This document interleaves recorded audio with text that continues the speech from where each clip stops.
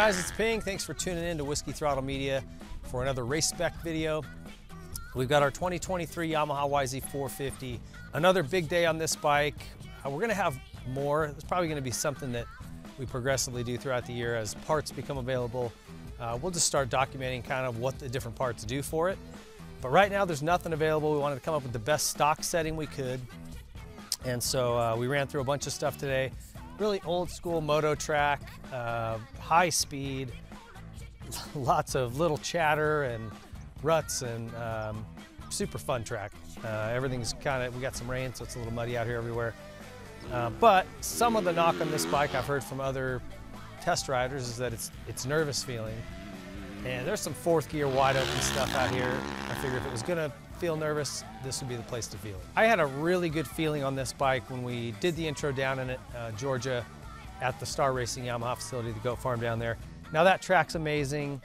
It was prepped perfectly. We didn't have a ton of bumps, so um, I was thinking, man, I wonder if I get home if it's not, you know, maybe I over overplayed how much I like this bike. And, uh, I, I, was a little unsure. I, I, was anxious to get out on a, a track out here, just someplace different. And what I confirmed today is basically, I, I, it was exactly how I felt it down there. Uh, this bike just feels lighter, nimble, better handling, better cornering. It's very sensitive to input, so I still want to reiterate that. Just keep telling yourself to sort of slow down in your brain, right? Um, smaller inputs, smoother is better. If you try to override this thing, it's gonna feel kind of, it's gonna feel nervous. Um, I think that's a condition of overriding it. Uh, if you just slow down and, and soften the, the inputs, this thing is easy to ride and you'll find yourself going faster. It's, uh, it's incredibly easy to ride. We came up with a pretty good setting today and I want to share that. And again, like I said, as we get more tracks and more time on it, I may come in and, and say, hey, we, we found this or that. But for here, I want to give you a good foundation. If you've got one of these or you're one of the lucky ones who got your hands on them because they are still pretty tough to find. Uh, let me just tell you where we landed. And this comes from what we learned down in Georgia with Yamaha and then over the couple of days we've had to ride it just things that we've found and we've learned. So sag between 90 and 100, and I set mine at 97. I like a little bit, I like it on a little bit more of the more sag. That's per personal preference. If you're a real tall guy, maybe you like it taller in the back, uh, but it's definitely different. Between 90 and 100 is what they're recommending. And that's way different than anything we've seen in a while.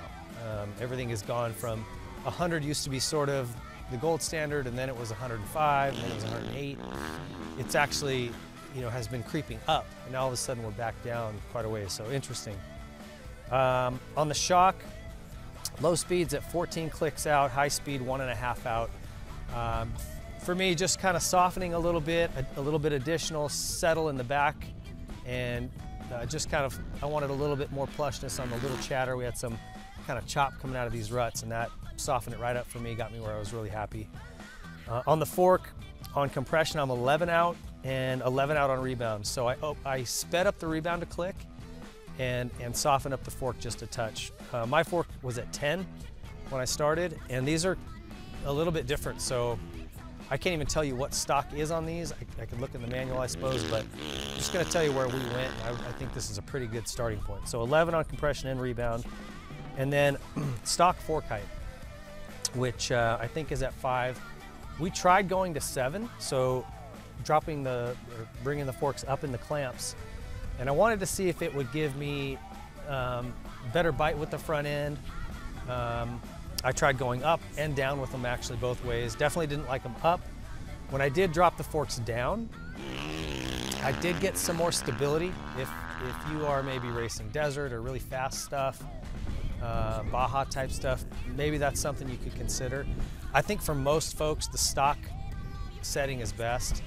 Um, if you get into some real deep mucky stuff or you've got real steep downhills, you can maybe try dropping it down, but I tell you that I lost some of that really good planted front end feel when I did that. So it wasn't worth what I gained. Uh, so I think the stock setup is best there. A uh, couple of notes.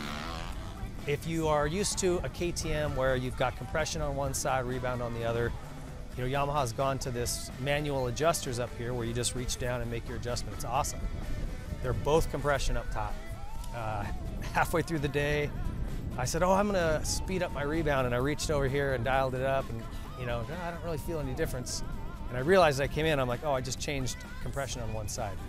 Um, both are compression, both rebounds are on the bottom. So just remember that, it's different. Um, and I will say this as well, don't go too soft on this fork. I got caught up uh, wanting it to be a little more, seeing how plush I could get. I like to do that, just, I'll keep going softer until it's too soft and then go, and then we go, okay, that's too much, let's back up, let's find where I'm happy.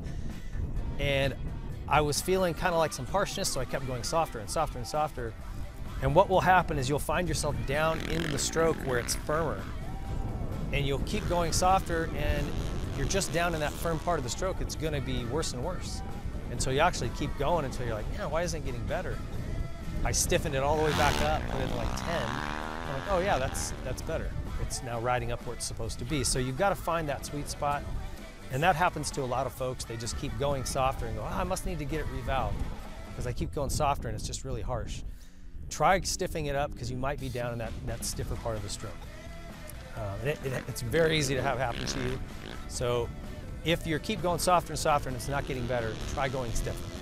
Seems counterintuitive, but it's, it's, uh, it happens. Uh, and then the maps on this, uh, the standard is with the light off. Light on is a softer, smoother map. Um, for where we're at today, it was very deep. It's a little bit sandy. I, I like the standard one, a little bit more aggressive. And typically I go with the softer maps on these or standard on the 450s just because there's so much power and I find I, I can ride smoother and longer with sort of a, a, an easier power band. But here today I like the standard one better and uh, I think it was the same way down in Georgia for the intro. Um, just the way they've made this power deliver, it's very rideable. Um, you still have to get your, your weight up over the front as you're exiting turns because it wants to wheelie. But um, when I went to the softer map, there was times I just, I wanted a little bit more excitement and I wasn't getting it. So play with those and just know with this, uh, with the maps, you just touch the button quickly. If you hold it down, it puts you into launch mode, launch control mode. So um, a quick tap of the button gets you from light on to light off.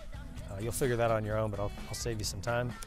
Uh, and then a couple other changes I made. I went to some, I put some ODI grips on here. The stock grips are really hard, really tough on your hands. Uh, and I went to a thicker crossbar pad. The stock crossbar pad to me, it's, it's smaller and it's harder. And if you are to case something or, or smash your chest into that, I just want a little more padding. I think this is a safer setup. So it's just my recommendation to you, do what you want, but um, I think it's nice to go with a little more padding, something that broadens that uh, mound right here that you smash your chest into. Uh, so do what you want, but that's my suggestion. Other than that, I think the gearing on this thing is just on the money.